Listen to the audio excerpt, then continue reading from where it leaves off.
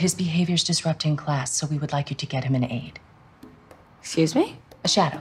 To follow him around and help him and us when he acts up. I know, it's hard to hear, but we have enlisted the help of aides for other children with behavioral issues, and we've had great results. It just feels so drastic. Do you really think that's necessary? If he wants to stay at the school, then yes.